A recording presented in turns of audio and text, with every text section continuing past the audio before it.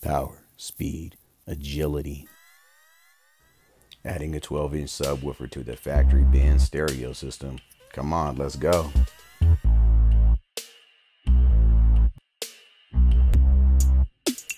The factory system sounds pretty good, but could always use a little bit more bass, and that's what we're doing today.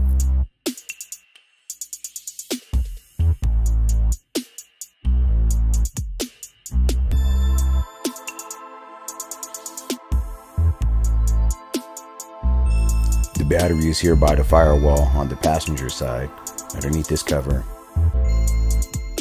Once the cover is removed, we have to disconnect the battery so that nothing shorts out.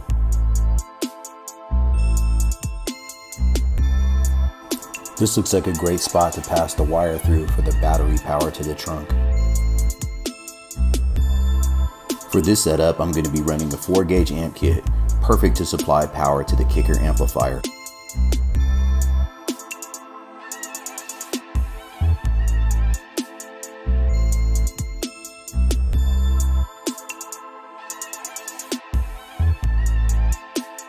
Pow, just like that, it's through the firewall.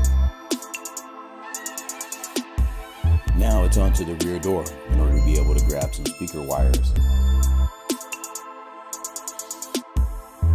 With the panel removed, I can see the wire harness running into the door boot. Once I split it open, I'll be able to locate the wire colors with ease. Here I'm looking for white and brown white. Found them! Since kicker amplifiers have a built-in low-level converter, I can just cut the RCAs in half and solder those directly into the speaker inputs. Not too bad, run it right to the back following the factory wiring, tucking it right underneath the carpet.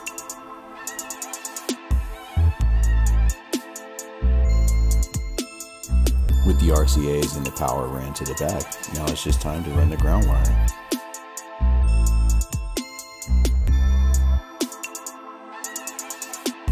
This installation, I'm running the Kicker Comp R12 in the Kicker vented box. It's just a beautiful subwoofer. These things sound amazing. They play deep bass and they're very budget friendly. What a great way to go. With the amplifier mounted here on the bottom of the box, I just need a tiny jumper from the amplifier to the speaker input leads. That's it, that's all it takes. I'll go ahead and tuck the subwoofer down into its intended installed position. Then it's just a matter of terminating the wiring from the Benz stereo system into the amplifier. That's it.